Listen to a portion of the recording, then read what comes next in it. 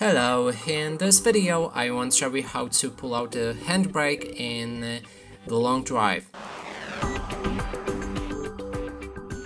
To do this, uh, first uh, you will need to get in the car and then you can either do it manually right here using your mouse or you can press on space to instantly do it. And that's it for this video, hope you like it, please consider subscribing to our channel, leave a like and a comment below.